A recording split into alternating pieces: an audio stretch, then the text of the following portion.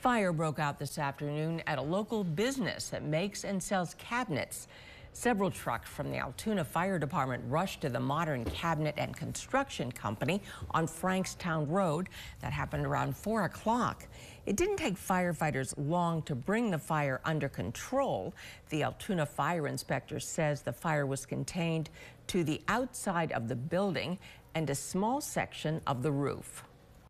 The cause of the fire is undetermined. Uh, myself and the police department are actively working to fully investigate the fire and determine an outcome. Justin Smithmeyer says no one was in the building when the fire occurred and no one was hurt fighting it.